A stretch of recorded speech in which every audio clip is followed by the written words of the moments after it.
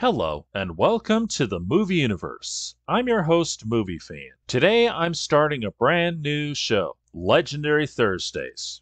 Now, if you've been keeping tabs, Legendary Thursdays is intended to be all about cartoons. However, every now and again, I'll probably chime in with a few legendary episodes that you've seen on various TV shows, because one can only go so far with legendary cartoons. So let's start this Legendary Thursdays off right with a legendary cartoon short, The Pink Phink.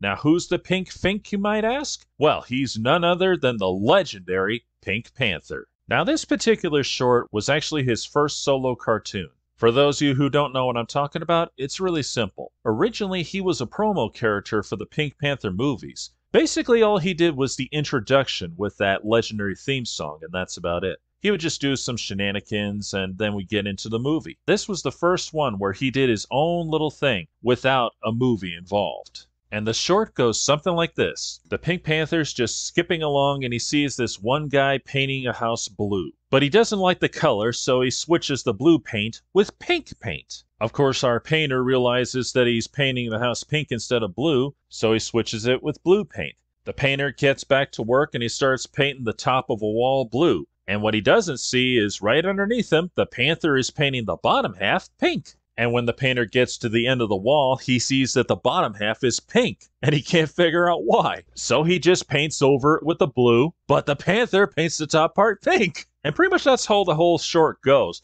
The panther's painting everything pink, while the painter's trying to paint everything blue and he doesn't know what's going on he can't figure out how is this happening until finally he sees the panther walking around with pink paint and he tries to shoot him.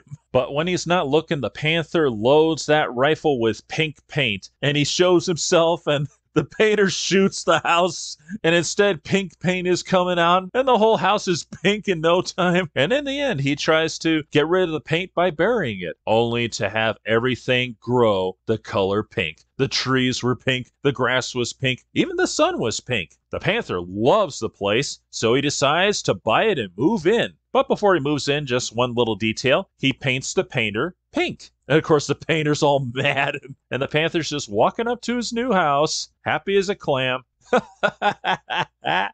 that's some great stuff right there. Now, that's just a little overview because what I say will definitely not do this cartoon justice. In fact, it was so great that it actually won the Academy Award. One thing that makes this cartoon so unique to any others is the simplicity. Now, when you get shows like Tom and Jerry and the Looney Tunes, they're fully detailed. You know, you see all kinds of furniture and background settings and all that, and the characters have some extreme detail. For here, you don't really get that. You usually get just a few colors going around here and there, but most of the time it's really a blank canvas. There's usually nothing except a few small little things, like a floor, a staircase, a wall, and of course the column and the paint colors, and our main characters, the Pink Panther and the painter. The painter, of course, is a very simple design. In fact, any four year old could draw him. The Pink Panther, on the other hand, he's a little more intricate. Now, his design is still pretty simple. However, there's a little more detail to him. For instance, you get more detail on the face, and obviously, he's pink.